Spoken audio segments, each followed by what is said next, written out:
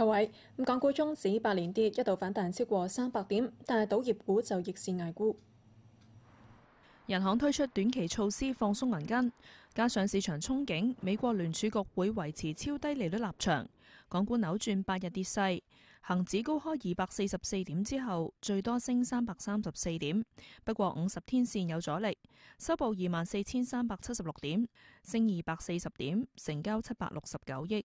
如果反彈嘅勢頭唔能夠翻翻上五十天線樓上呢，中期反覆逐步市低位嘅格局係冇變到嘅。所謂嘅中期嘅調整，一般嚟講呢，要行四到六個禮拜都唔頂嘅。中資金融股帶動大市，中國太平升百分之三，四大國有銀行股升幅介乎百分之一至二。多间大行調低今個月澳門博彩收益預測，賭業股未止瀉，澳博、永利、金沙、新濠博亞同埋銀娛齊創超過一年新低。石油輸出國可能減產，刺激中石油升近百分之四，係升幅最大藍籌。騰訊升上一百二十四蚊，為大市貢獻五十幾點。海星俄羅斯項目延期落成，股價急挫一成。首場四方打算向大股東旗下嘅公司提供融資，復牌之後有沽壓。無線電視陳文賢報道。咁多間證券行睇淡博彩股前景，相繼下調澳門博彩收益預測。咁上眼估計要出年先至會好轉。多項負面因素湧現，大行相繼下調今個月澳門博彩收益預測。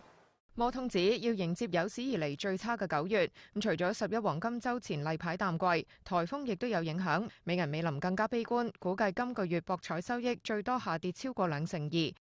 咁美銀美林仲預告最壞嘅時間仲未過去。咁近期限制資金進出等措施，加上反貪腐效應，估計貴賓廳收入最受影響，下半年最多跌兩成三，拖累博彩收益增長近乎要捧蛋。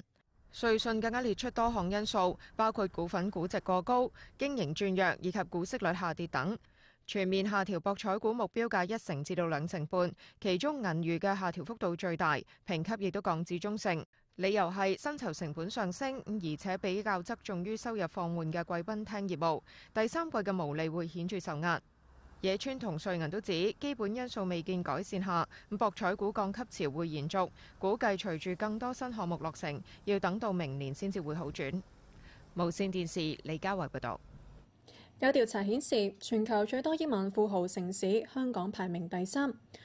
報告顯示，全球擁有十億美元以上資產人士，過去一年增加百分之七，至二千三百二十五人，創新高。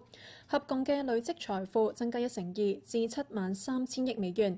美國係擁有最多億萬富豪嘅國家，一共有五百七十一人。第二位係中國，有一百九十人，較舊年多三十三人。以城市劃分，紐約就有一百零三名億萬富豪唔，係全球最多。香港緊隨莫斯科其後，有八十二人，按年多咗七個人。負責調查嘅機構話，香港最多人透過地產累積財富。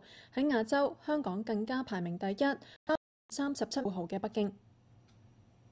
立法會金融服務界議員張華峰預計滬港通可以喺十月如期推出，不過佢指出滬港通仍然有問題未解決。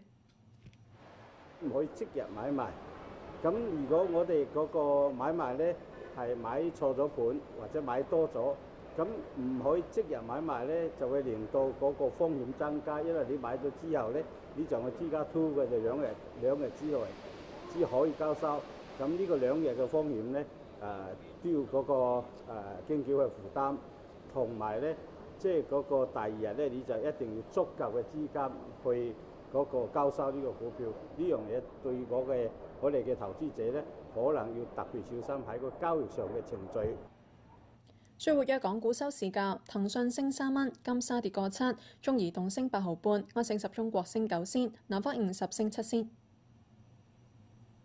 中石化升七仙，建行升一毫一，銀娛跌個三，工行升一毫，匯控升五毫半。